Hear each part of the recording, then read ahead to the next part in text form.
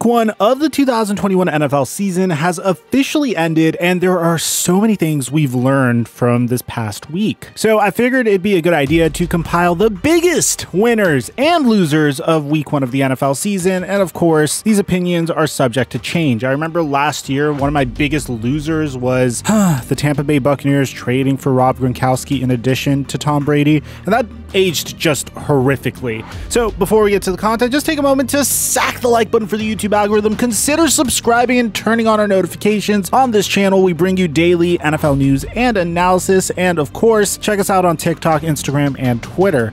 Now that we get all that out of the way, break.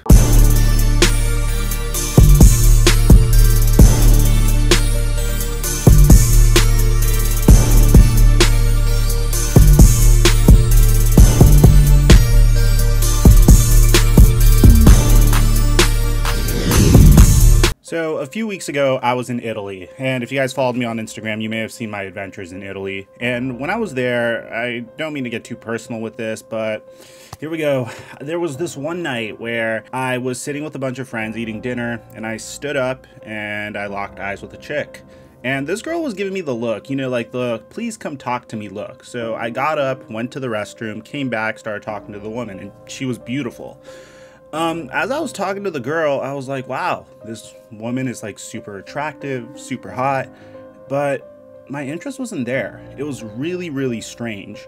And eventually, what happened is this girl would tag along with the crew throughout the entire night but ultimately I did nothing about it despite her being really interested in me and me thinking that she was really attractive. So that led me to ask myself some questions in regards to my testosterone. You see, I'm very into weightlifting, so I understand testosterone's role in building muscle, and that's why a lot of bodybuilders juice themselves. They're trying to inject exogenous testosterone in them so they could build more muscle. But in this case, I was more concerned about my lack of desire, my lack of libido. After all, I'm just 28 years old, you know what I mean? So it's very strange for a guy to be going through this. So that's why I'm partnering with Hone Health. They sent me this testing assessment so I could go ahead and self test myself, send in my results to a lab, and they could see if I'm doing okay. I'm gonna give you guys an update as to how that's all going on my Instagram page because we don't really talk about this type of stuff on this channel, and I don't really have a story time channel. But I'm hoping to get a little bit more energy as a result of this, making sure my libido's straight, and hey, maybe I could build a little bit more muscle if they need to help me out in this department. So if you want, order Hone's easy at-home testosterone assessment test so you could test your testosterone levels. And for a little bit of time only, viewers would get the at-home testing and consultation for just $45 when they use my promo code Mikerophone. Or just go to honehealth.com or just go to honehealth.com forward slash mikerophone to take advantage of this opportunity now. And thank you, Hone Health, for the sponsorship and for the help. Mike check one two one two. What's going on, everybody? So I'm really excited to get to our first winner because this is a guy that was taking so many L's during the NFL preseason that, well, just we were all rooting for to some degree or another. And the first guy is Ja'Marr Chase. You see, Ja'Marr Chase has been coming under heavy scrutiny because apparently he forgot how to catch footballs during NFL preseason. This was a huge storyline, way bigger than it should have been. I even made two videos and a short on it, and I'm really happy to see that the man really showed up right when it mattered the most. Apparently, he just needed Joe Burrow to throw him the football because this man went off in week one. How many rookie wide receivers do you know that have the ability to go off for five receptions, over 100 yards, well, 101 yards to be exact, and a touchdown in their debut in the NFL. Not very many, especially considering that they went up against a pretty decent defense. I mean, the Minnesota Vikings defense isn't what it used to be, but they're not absolutely horrific, and it makes it all the more impressive. So, huge shout out to Ja'Marr Chase, but he's not the only part of this winning category because every single rookie wide receiver that was hyped up during the pre pre-draft process, from Ja'Marr Chase to Jaylen Waddle and even DeVonta Smith, had a pretty good week one. If you look at DeVonta Smith, a player that I was personally very concerned about, mainly because of his frame and the system that he's going into, the Philadelphia Eagles. I'm sorry, no offense, but Nick Sirianni didn't really do a lot to at least get my confidence in him. He wasn't really the greatest in press conferences, and Jalen Hurts didn't really have the best season last year. If you look at his statistics, it's kind of scary to be depending on a guy that's fumbling his words in a press conference and a man that just didn't look like a legitimate NFL QB to actually actually carry the Eagles this year. But again, I was wrong. DeVonta Smith went off six catches for 71 yards and the Philadelphia Eagles beat the Atlanta Falcons. Now, of course, it's the Atlanta Falcons, but it's a good start because the Philadelphia Eagles are the leaders of the NFC East. But that's before we get to Jaylen Waddle. And of course, Jaylen Waddle didn't have nearly as good of a game as Ja'Marr Chase did, but he did have a fairly substantial game, having four catches for 61 yards and a touchdown as the Miami Dolphins beat the New England Patriots. All three wide receivers look like absolute studs. I don't think there's a Henry Ruggs or a John Ross of this NFL draft. Sorry, Las Vegas Raiders. And we got to tip our hat off to the rookie wide receivers. Now, unfortunately, the losers that are going to complement the winners here are the first two picks of the NFL draft, Trevor Lawrence and Zach Wilson. Now, I don't remember the last time a rookie quarterback came into the league and was extremely hyped up and absolutely dominated in his debut. As a matter of fact, I think of Andrew Luck and Cam Newton and even Peyton Manning. And typically, rookie rookie QBs, even if they are extremely hyped up, don't tend to do well. And of course, it's kind of scary considering how Trevor Lawrence got to go up against the porous Houston Texans defense that is literally trading away every good player that they have just for draft capital that is clearly rebuilding, that doesn't even have their star QB playing this season. But Trevor Lawrence went 28 of 51 for 332 yards and three touchdowns. That's pretty decent. The bad part is he had three interceptions, which is to be expected if you're a rookie QB. Now, of course, Trevor Trevor Lawrence has another thing going against him, and that's the fact that he has a rookie head coach as well. It's going to be interesting to see how he develops this season because Trevor Lawrence doesn't typically lose a lot, and he's going to start his NFL career with an L against a pretty, at least in my opinion, on paper, a team that we expected to be getting at least a top three or top five pick in the NFL draft this year. Now, Zach Wilson is kind of in the same boat here, but he went up against the Carolina Panthers, which in my book are significantly better than the Houston Texans. Zach Wilson completed 20 of his 37 passes for 258 yards, two touchdowns, and an interception. But the scary part of this was Wilson was sacked six times, and the Panthers beat the New York Jets 19 to 14. Adding salt to the wound is the fact that Zach Wilson went up against the former Jets QB Sam Darnold, and there was kind of a storyline how Sam Darnold and Robby Anderson returned to New York and absolutely destroyed the Jets. And it's clear that the reason why they weren't successful, apparently after one week of play, was because the New York Jets had a fairly incompetent front office. So the jury's out on that. I'm going to come out with a dedicated video on that. Be on the lookout for whether or not the New York Jets made a mistake. But again, it's just week one. I'm sure Zach Wilson and Trevor Lawrence will be fine. But you got to tip your hat off to another winner, and that is Sam Darnold. Sam Darnold has had a really tough NFL career thus far. And despite my alma mater being UCLA and me always poking fun at the fact that USC quarterbacks tend to flop in the NFL, save for Carson Palmer, who had a decent NFL career. I just couldn't help but feel like Sam Darnold was being set up for failure. I didn't think he was a bad QB. I didn't think he was anything near what Mitchell Trubisky was, and I think he was just set up to fail from the start. You're talking about a head coach, Adam Gase, that literally ran halfback dives with Frank Gore to a nauseating extent. His best wide receiver during his time there was Robby Anderson, and of course, he never had a fully reliable offensive line. It's no wonder why this man saw ghosts when he faced off against the New England Patriots, but I digress. I'm really excited that Sam Darnold's in a situation where he has a head coach that believes in him and is clearly the right head coach for the Carolina Panthers and Matt Rhule. He has remarkable weapons in DJ Moore, Robby Anderson is coming back over there, and of course he has Christian McCaffrey, which is a phenomenal weapon to lean on to get make sure that you are always in rhythm. Now, Sam Darnold didn't have the flashiest statistics, 279 passing yards, one passing And one rushing TD, but he did eke out a win against his former team, and for that, he is a huge winner this week. Another winner would actually have to be the Houston Texans because, well, I actually thought the Texans would be absolutely terrible this year, and I don't know if it's David Culley, I don't know if it's Tyrod Taylor being better than we give him credit for, I don't know if it's the fact that Brandin Cooks was a 1,000 yard receiver last year and we all seem to forget,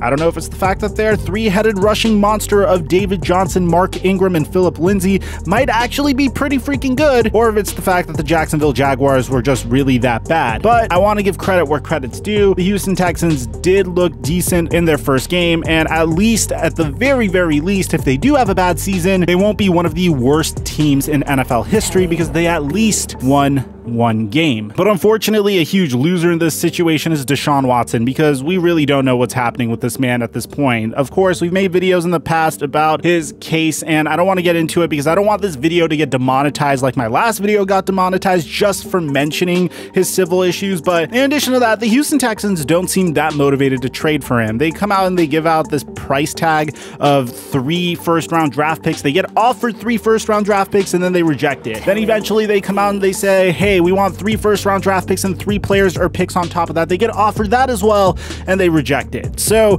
it's really difficult to see what's going to happen with Deshaun Watson. It seems like he's not going to play all season long, which is a shame considering how he gave us one of the best years of his career last year. Hopefully, the things that are going on in his personal life get solved. Hopefully, they're not bad and we get to a situation where he could return to an NFL field. But for now, Deshaun Watson is a huge loser considering that this is his situation, but at least he's getting paid to do nothing. Now, the next winner we have to mention is, of course, the entire freaking NFC West. I mean, from the Arizona Cardinals to the Seattle Seahawks to the Los Angeles Rams and eh, I guess kind of the San Francisco 49ers. They did look dominant in the beginning against the Detroit Lions until they ultimately almost choked that game against the Detroit Lions. They all looked fairly impressive, especially the Arizona Cardinals and the LA Rams. Caught my eye the most. Let's start with the Cardinals, shall we? Chandler Jones comes out and says that he is very disgruntled with his contract and he actually requests a trade from the Arizona Cardinals. The Cardinals don't grant him his wish,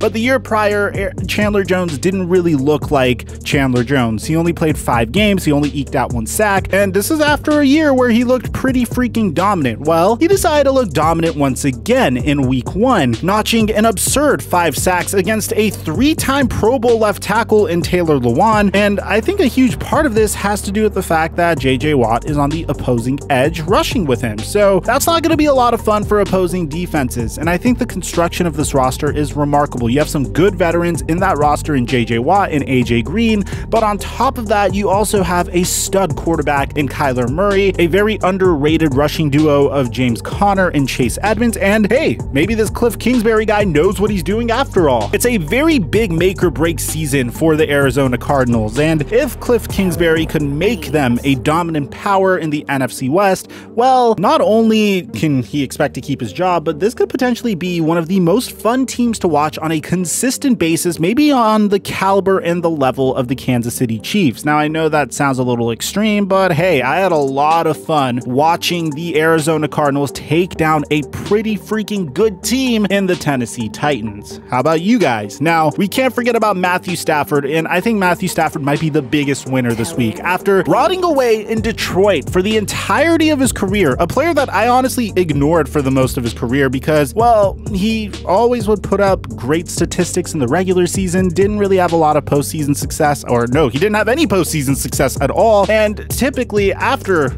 of course, a few years where he had Calvin Johnson and he was able to connect with him, he finally unites with a head coach that clearly knows what he's doing in Sean McVay. And I knew from the moment that the Los Angeles Rams traded for Matthew Stafford that this marriage was going to work. Sean McVay just seems like a head coach that knows what he's doing. I think his brain and his knowledge for football and his knowledge for play design and game planning is almost Bill Belichick esque, although Bill Belichick has significantly more years on Sean McVay. So I do think in a duel, typically Belichick will win. But I think Sean McVay's on that path, and I think very highly of the guy. So giving him a quarterback that could make all the throws he wanted, well, we saw in the very first play of Matthew Stafford's career a bomb to Van Jefferson, which the Chicago Bears defended terribly. I'm expecting Matthew Stafford to potentially, and I know it's week one, and I know I might be overreacting, but if this trend happens to continue, we might see Matthew Stafford enter the MVP conversation. And honestly, it's about time. I'm really happy that he's in a situation that he could succeed as a secondary LA Rams fan. I'm excited to see the Rams ball out this season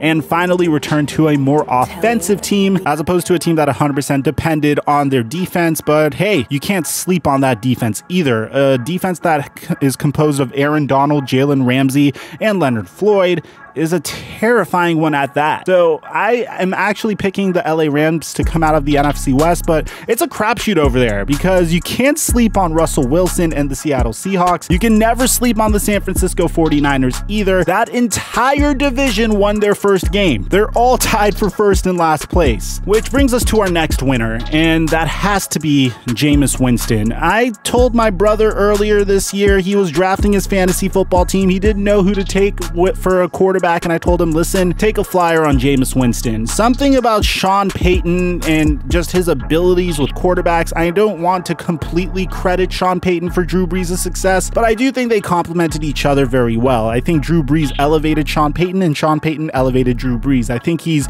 come a long way in evolving as a head coach and has remarkable play design, and he consistently keeps up with NFL trends. And I just felt like he would be able to pass a little bit of that on to Jameis Winston. And if you look at what Jameis Winston went through over the past year, it's very similar to what Patrick Mahomes went through before he started. Not to compare the two, but Jameis Winston had the luxury of being able to sit behind a Hall of Fame QB for a year, really seeing how Drew Brees prepares. Drew Brees seems like the type of individual that would actually go out of his way to make sure that the quarterback underneath him would actually get a good education and become well versed as a QB. And boy, in his debut, going up against a team that, in my opinion, has a top two or top three cornerback in Jaire Alexander, Jameis Winston threw for five touchdowns and no interceptions in his debut. You read that right. He didn't have a single interception in his debut. This is a man that is just 27 years old. He has plenty of football left in the tank. A former Heisman Trophy winner and a former number one overall pick gets placed in a situation where this the New Orleans Saints know how to play winning football. I was hyping up Jameis Winston all off season long. I thought he'd be an upgrade over Drew Brees, not prime Drew Brees, but the Drew Brees that could only throw for 10 yards and could only throw out routes to Michael Thomas, which,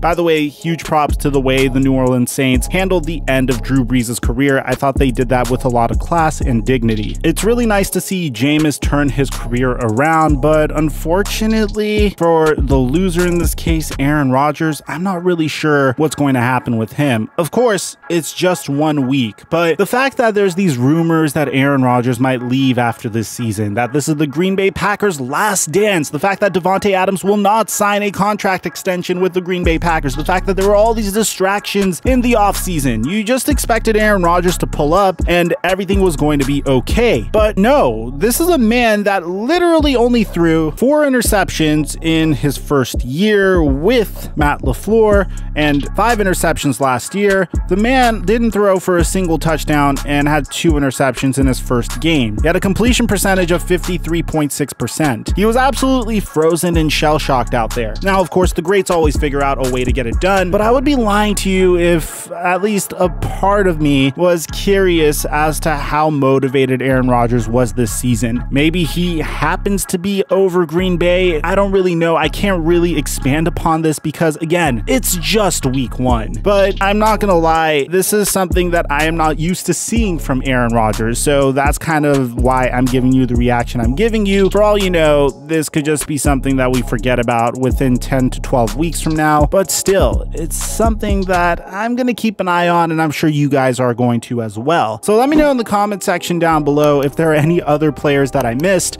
Originally, I wanted this to cover Monday Night Football, but well, this is a 17 minute long video. So aside from that, I'm your boy Mike, and I'm dropping our mic until our next upload.